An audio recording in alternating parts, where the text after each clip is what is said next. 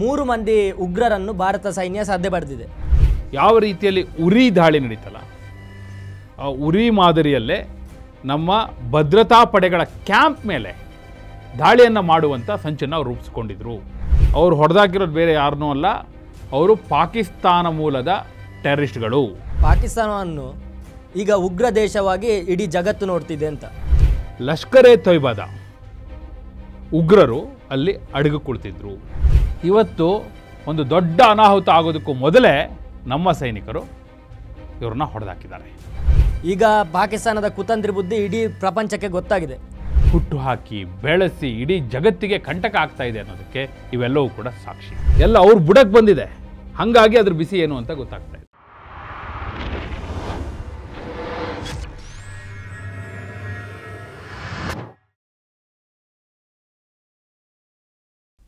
ನಮಸ್ಕಾರ ವೀಕ್ಷಕರೇ. Straight forward ಕಾರ್ಯಕ್ರಮಕ್ಕೆ ಸ್ವಾಗತ, ನಾನು ಜಗದೀಶ್. ರಾಜಕೀಯ ಆಳದಲ್ಲಿ ಹುದುಗಿರುವ ಒಳಸುಳಿಗಳು, ಕಂಡು ಕಾಣದಂತಿರುವ ರಾಜಕೀಯ ನೀತಿಗಳು, ಇದರ ವಿಶ್ಲೇಷಣೆ ಸ್ಟ್ರೈಟ್ ಫಾರ್ವರ್ಡ್ ನಮ್ಮೊಂದಿಗಿಂದು ರಾಜಕೀಯ ವಿಶ್ಲೇಷಕರಾಗಿ ವೀರೇಂದ್ರ ಉಪ್ಪುಂದ ಅವರಿದ್ದಾರೆ. ಅವರೊಂದಿಗೆ ಚರ್ಚೆ ನಡೆಸ್ತೇನೆ. ವೀರೇಂದ್ರ ಉಪ್ಪುಂದ ಅವರೇ ಕಾರ್ಯಕ್ರಮಕ್ಕೆ ಸ್ವಾಗತ. ಇವತ್ತಿನ ಚರ್ಚೆಯ ವಿಷಯ ಯುನೈಟೆಡ್ ನೇಷನ್ ಸೆಕ್ಯೂರಿಟಿ ಕೌನ್ಸಿಲ್ನ ಸಭೆ ಮೊನ್ನೆ ತಾನೇ ಭಾರತದಲ್ಲಿ ನಡೆದಿದೆ. ಈ ಸಭೆಯಲ್ಲಿ ಭಾರತ ಪಾಕಿಸ್ತಾನದವರ ಕುತಂತ್ರ ಬುದ್ಧಿಯನ್ನು ಬಯಲಿಗೆಳೆದಿತ್ತು. ಇದಕ್ಕೆ ಪುಷ್ಟಿ ನೀಡುವಂತೆ ಇವತ್ತು ಕೂಡ ಕೆಲವು ಘಟನೆಗಳು ನಡೆದಿದೆ.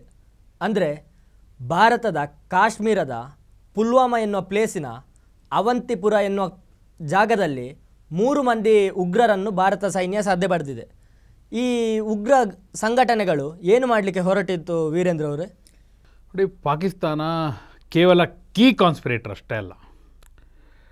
ಭಾರತದಲ್ಲಿ ನಡೀತಾ ಇರುವಂಥ ಟೆರರಿಸಮ್ ಅದರ ಹಿನ್ನೆಲೆಯಿರೋದೇ ಪಾಕಿಸ್ತಾನ, ಸಂಪೂರ್ಣ ಹೊಣೆಗಾರಿಕೆ ಪಾಕಿಸ್ತಾನದ್ದು. ನೋ ಡೌಟ್ ಇನ್ ದಟ್ ಇದಕ್ಕೆ ಸಾಕಷ್ಟು ಘಟನಾವಳಿಗಳು ಸಾಕ್ಷಿಯಾಗಿ ನಮ್ಮ ಎದುರುಗಡೆ ಇದೆ. ಮೊನ್ನೆ ನಡೆದಂಥ ಯುನೈಟೆಡ್ ನೇಷನ್ಸ್ನ ಸೆಕ್ಯೂರಿಟಿ ಕೌನ್ಸಿಲ್ ಸಭೆಯಲ್ಲಿ ಇದನ್ನು ನಮ್ಮ ದೇಶದ ವಿದೇಶಾಂಗ ಸಚಿವ ಜೈಶಂಕರ್ ಅವರು ಈಗಾಗಲೇ ಅವ್ರನ್ನ ಕಂಪ್ಲೀಟ್ ಕಂಪ್ಲೀಟ್ಲಿ ಅವ್ರನ್ನ ಎಕ್ಸ್ಪೋಸ್ ಮಾಡಿಬಿಟ್ಟಿದ್ದಾರೆ. ಕಂಪ್ಲೀಟ್ ಎಕ್ಸ್ಪೋಸ್ ಮಾಡಿದ್ದಾರೆ. ಅವರ ಮಾನ ಮರ್ಯಾದೆ ಹರಾಜಾಗಿದೆ. ಇಡೀ ವಿಶ್ವದ ಎದುರುಗಡೆ. ಇವತ್ತು ನಡೆದಿರೋದೇನು ಅಂದರೆ, ಪುಲ್ವಾಮಾ, ಪುಲ್ವಾಮಾದ ಅವಂತಿಪೋರ್ನಲ್ಲಿ ಅಲ್ಲಿ ಬಹಳಷ್ಟು ದಿನಗಳಿಂದ ನಮ್ಮ ಸೇನೆ ನಿರಂತರವಾಗಿ ಅಲ್ಲಿ ಸರ್ಚ್ ಆಪರೇಷನ್ಸ್ನ ಮಾಡ್ತಾನೆ ಇದೆ. ಲಷ್ಕರ್ ಎ ತೊಯ್ಬಾದ ಉಗ್ರರು ಅಲ್ಲಿ ಅಡಗಿಕೊಳ್ತಿದ್ರು ಕುಳಿತಿದ್ರು. ಅವರು ಒಂದು ದೊಡ್ಡ ಸಂಚನ್ನೇ ರೂಪಿಸಿದ್ರು ಅನ್ನುವಂಥದ್ದು.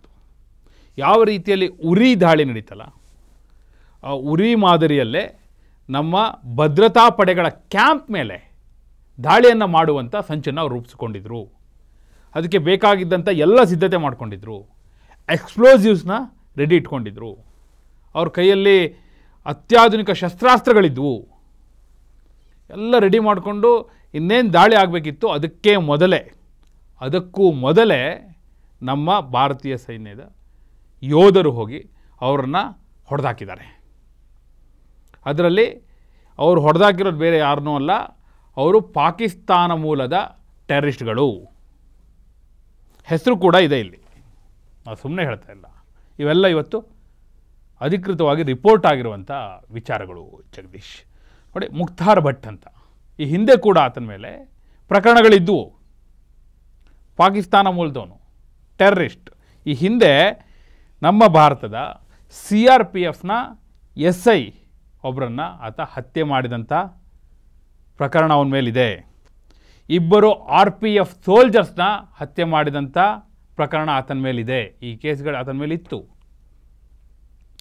ಇವತ್ತು ಒಂದು ದೊಡ್ಡ ಅನಾಹುತ ಆಗೋದಕ್ಕೂ ಮೊದಲೇ ನಮ್ಮ ಸೈನಿಕರು ಇವ್ರನ್ನ ಹೊಡೆದಾಕಿದ್ದಾರೆ.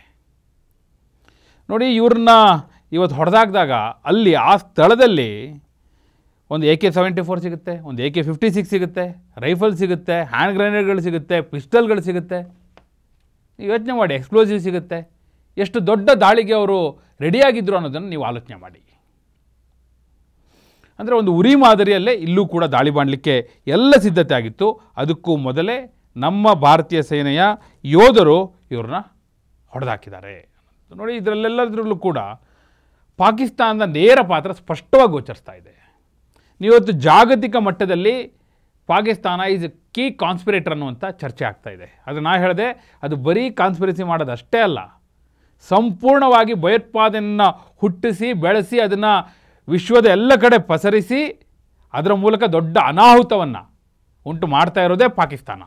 ಇವತ್ತು ಜಗತ್ತಿನ ಎಲ್ಲ ದೇಶಕ್ಕೂ ಗೊತ್ತಾಗ್ತಾ ಇದೆ ಇದು. ಫಾರ್ ಎಕ್ಸಾಂಪಲ್ ರಷ್ಯಾ ರಷ್ಯಾ ಕೂಡ ಈಗ ನೇರವಾಗಿ ಅಟ್ಯಾಕ್ ಮಾಡ್ತಾ ಇದೆ ಪಾಕಿಸ್ತಾನನ ಸೊ ಅಂದರೆ ಯಾವುದನ್ನು ಭಾರತ ನಿರಂತರವಾಗಿ ಹೇಳ್ತಾ ಬಂದಿತ್ತು ಇವತ್ತು ಅದು ವಿಶ್ವಕ್ಕೆ ಅರ್ಥ ಆಗ್ತಾ ಇದೆ ಅನ್ನುವಂಥದ್ದು ಈ ಎಲ್ಲ ಘಟನಾವಳಿಗಳಿಂದ ಸ್ಪಷ್ಟ ಆಗ್ತಾ ಇದೆ. ಜಗದೀಶ್. ವೀರೇಂದ್ರ ಉಪ್ಪುಂದವರೇ ನೀವು ಹೇಳಿದ್ರಿ ಪಾಕಿಸ್ತಾನವನ್ನು ಈಗ ಉಗ್ರ ದೇಶವಾಗಿ ಇಡೀ ಜಗತ್ತು ನೋಡ್ತಿದೆ ಅಂತ. ಆದರೆ ರಷ್ಯಾ ಕೂಡ ಆಪಾದನೆ ಮಾಡ್ತಾ ಇದೆ ಪಾಕಿಸ್ತಾನದ ಮೇಲೆ.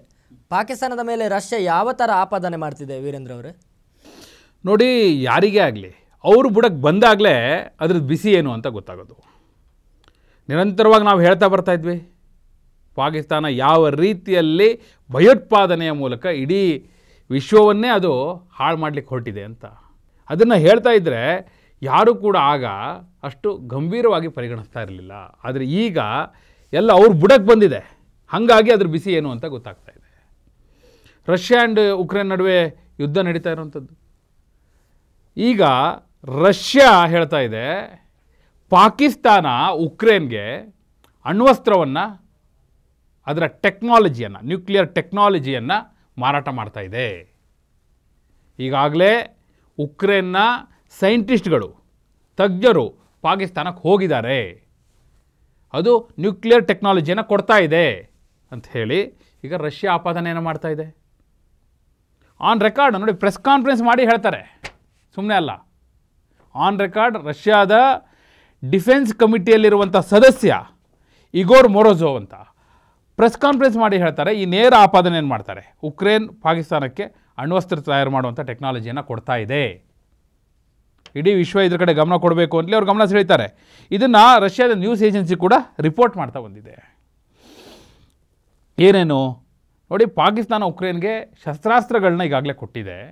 ಈಗ ನ್ಯೂಕ್ಲಿಯರ್ ಟೆಕ್ನಾಲಜಿಯನ್ನು ಕೂಡ ಕೊಡ್ತಾ ಇದೆ. ಯಾವ ರೀತಿ ಅಂದರೆ third party based defence suppliers ಮೂಲಕ ಕೊಡ್ತಾ ಇದೆ. ಅಂದರೆ ಈಗ ನೇರವಾಗಿ ಕೊಡ್ತಾ ಇಲ್ಲ ಅದು. ಅದು ಕೂಡ ಅದು ಯಾವಾಗಲೂ ಪಾಕಿಸ್ತಾನ ಇದೆಯಲ್ಲ, ಪಾಕಿಸ್ತಾನವನ್ನು ದೊಡ್ಡ ದೊಡ್ಡ ರಾಷ್ಟ್ರಗಳು ಕೂಡ ಬಳಸ್ಕೊಂಡು ಬಿಸಾಕ್ತಾರೆ. ಈಗ third party based defence suppliers and contractors ಮೂಲಕ ಈ ಶಸ್ತ್ರಾಸ್ತ್ರಗಳನ್ನ ಪೂರೈಕೆ ಮಾಡಲಾಗ್ತಾ ಇದೆ ಅನ್ನೋದು ಒಂದು. ಇನ್ನೊಂದು ಪಾಕಿಸ್ತಾನದ ರಾವಲ್ಪಿಂಡಿಯಲ್ಲಿ ನೂರ್ ಖಾನ್ ಏರ್ಬೇಸ್ ಅಂತ ಇದೆ. ಅಲ್ಲಿಂದ ಯು ಕೆ ತನ್ನ ಶಸ್ತ್ರಾಸ್ತ್ರಗಳನ್ನ ಉಕ್ರೇನ್ಗೆ ಕಳಿಸ್ಲಿಕ್ಕೆ ಆ ಏರ್ಬೇಸ್ನ ಬಳಸ್ಕೊಳ್ತಾ ಇದೆ ಅನ್ನೋದು. ಅದ್ರ ಜೊತೆಗೆ ಮತ್ತೊಂದು ಮೇಜರ್ ಅಲಿಗೇಷನ್ ಮಾಡಿರುವಂಥದ್ದು, ಒಂದು ಡರ್ಟಿ ಬಾಂಬ್ ಅಂತ ರೆಡಿ ಮಾಡ್ತಾ ಇದೆ ಉಕ್ರೇನ್. ಅದು ಕೂಡ ನಥಿಂಗ್ ಬಟ್ ಅಣ್ವಸ್ತ್ರದ ಮಾದರಿಯಲ್ಲೇ. ಅದರಲ್ಲಿ ಎಕ್ಸ್ಪ್ಲೋಸಿವ್ಸು ಇರುತ್ತೆ. ಎಕ್ಸ್ಪ್ಲೋಸಿವ್ಸ್ ಕೂಡ ಇರುತ್ತೆ ಆ ಕಂಟೈನರಲ್ಲಿ ಆ ಕಂಟೈನರ್ನಲ್ಲಿ ಎಕ್ಸ್ಪ್ಲೋಸಿವ್ಸ್ನ ಜೊತೆಗೆ ರೇಡಿಯೋ ಆ್ಯಕ್ಟಿವ್ ಮೆಟೀರಿಯಲ್ನ ಕೂಡ ಅದರಲ್ಲಿ ಅಳವಡಿಸಿರ್ತಾರೆ. ಅಂದರೆ ಇದು ನಥಿಂಗ್ ಬಟ್ ಅಣ್ವಸ್ತ್ರದ ಮಾದರಿಯಲ್ಲೇ ನ್ಯೂಕ್ಲಿಯರ್ ವೆಪನ್ ಮಾದರಿಯಲ್ಲೇ ಕೆಲಸ ಮಾಡುತ್ತೆ ಅಂತ ಒಂದು ಡರ್ಟಿ ಬಾಂಬ್ನ ರೆಡಿ ಮಾಡ್ತಾ ಇದೆ ಅನ್ನುವಂಥ ಆಪಾದನೆ ಮಾಡ್ತಾರೆ. ಈ ಡರ್ಟಿ ಬಾಂಬ್ ಯಾವ ರೀತಿ ವರ್ಕ್ ಮಾಡುತ್ತೆ ಅಂದರೆ ಅದೊಂದು ಕಂಟೈನರ್ ಬೇಸಿಕಲಿ ಡರ್ಟಿ ಬಾಂಬ್ ಅನ್ನುವಂಥದ್ದು ಒಂದು ಕಂಟೈನರ್. ಅದರಲ್ಲಿ ರೇಡಿಯೋ ಆ್ಯಕ್ಟಿವ್ ಐಸೋಟೋಪ್ಸ್ ಇರುತ್ತೆ. ಹಾಗೂ ಯಾವುದೇ ಒಂದು ಬಾಂಬ್ನಲ್ಲಿರುವಂಥ ಎಕ್ಸ್ಪ್ಲೋಸಿವ್ಸ್ ಕೂಡ ಇರುತ್ತೆ. ಯಾವಾಗ ಅದು ಎಕ್ಸ್ಪ್ಲೋಡ್ ಆಗುತ್ತೆ, ಸ್ಫೋಟ ಆಗುತ್ತೆ, ನಿಮಗೆ ಸ್ಫೋಟ ಆದ ಜಾಗದಲ್ಲಿ ನಾವು ಸಹಜವಾಗಿ ಆ ಸ್ಫೋಟದಿಂದ ಏನೆಲ್ಲ ಹಾನಿ ಆಗುತ್ತೆ ನೋಡ್ತೀವಿ. ಅದರ ಜೊತೆಗೆ ಈ ರೇಡಿಯೋ ಆ್ಯಕ್ಟಿವ್ ಮೆಟೀರಿಯಲ್ ಏನಿರುತ್ತೆ, ಅದರ ಶಾಕ್ ವೇವ್ನಿಂದ ಆ ಪ್ರದೇಶದ ವ್ಯಾಪ್ತಿಯನ್ನು ಹೊರತುಪಡಿಸಿ ಬಹಳ ದೊಡ್ಡ ವ್ಯಾಪ್ತಿಯವರೆಗೂ ಕೂಡ ಅಂದರೆ ಯಾವ ರೀತಿಯಲ್ಲಿ ನ್ಯೂಕ್ಲಿಯರ್ ಬಾಂಬ್ ಒಂದು ಇಡೀ ಪ್ರದೇಶವನ್ನು ಹಾನಿಗೊಳಪಡಿಸುತ್ತೋ, ಅದೇ ರೀತಿ ಕೂಡ ಇದು ವರ್ಕ್ ಆಗುತ್ತೆ ಅನ್ನುವಂಥ ಆಪಾದನೆಯನ್ನು ಮಾಡ್ತಾ ಇದ್ದಾರೆ. ಬಹುಶಃ ಇದು ಒಂದು ಶಾಕ್ ವೇವ್ನಿಂದ ಈ ಸ್ಪ್ರೆಡ್ ಆಗುತ್ತೆ ಅನ್ನೋದನ್ನು ಅವ್ರು ಹೇಳ್ತಾ ಇದ್ದಾರೆ. ರೇಡಿಯೋ ಆ್ಯಕ್ಟಿವ್ ಮೆಟೀರಿಯಲ್ನ ಒಂದು ಶಾಕ್ ವೇವ್ನಿಂದ ಸ್ಪ್ರೆಡ್ ಆಗುತ್ತೆ. ಈ ರೇಡಿಯೋ ಆಕ್ಟಿವ್ ಕಂಟಾಮಿನೇಷನ್ ಮಾಡುತ್ತೆ. ನೋಡಿ, ಒಂದು ಬಾಂಬ್ ಸ್ಫೋಟ ಆಯಿತು ಅಂದರೆ ಆ ಪ್ರದೇಶದಲ್ಲಿ ಯಾರ್ಯಾರಿರ್ತಾರೆ ಅವ್ರು ಸಾಯ್ಬೋದು, ಅವ್ರಿಗೆ ಹಾನಿ ಆಗ್ಬೋದು. ಆದರೆ ಈ ರೇಡಿಯೋ ಆ್ಯಕ್ಟಿವ್ ಕಂಟಾಮಿನೇಷನ್ ಭಾಳ ದೂರದವರೆಗೂ ಕೂಡ ಗಾಳಿಯ ಮೂಲಕ ವ್ಯಾಪಿಸ್ತಾ ಹೋಗ್ಬೋದು. ಇದರಿಂದ ಭಾಳ ದೊಡ್ಡ ಮಟ್ಟದ ಹಾನಿಯನ್ನು ಆ ದೇಶ ಎದುರಿಸಬೇಕಾಗುತ್ತೆ. ಅಂಥದ್ದೊಂದು ಎಕ್ಸ್ಪ್ಲೋಸಿವ್ನ ಉಕ್ರೇನ್ ರೆಡಿ ಮಾಡ್ತಾ ಇದೆ ಅನ್ನುವಂಥ ಆಪಾದನೆ ಕೂಡ ಮಾಡಿದ್ದಾರೆ. ಅಂದರೆ ಪಾಕಿಸ್ತಾನ ಒಂದು ನ್ಯೂಕ್ಲಿಯರ್ ಟೆಕ್ನಾಲಜಿಯನ್ನು, ಅಣ್ವಸ್ತ್ರ ಏನಿದೆ, ಅದರ ಟೆಕ್ನಾಲಜಿಯನ್ನು ಉಕ್ರೇನ್ಗೆ ಮಾರಾಟ ಮಾಡ್ತಿರೋದ್ರಿಂದ ಯಾವೆಲ್ಲ ರೀತಿಯಲ್ಲಿ ಹಾನಿ ಆಗ್ತಾ ಇದೆ ಅನ್ನೋದಕ್ಕೆ ಇದೊಂದು ಸಾಕ್ಷಿ. ಬಹುಶಃ ಈಗ ಜಗತ್ತಿಗೆ ಅರ್ಥ ಆಗ್ತಾ ಇದೆ.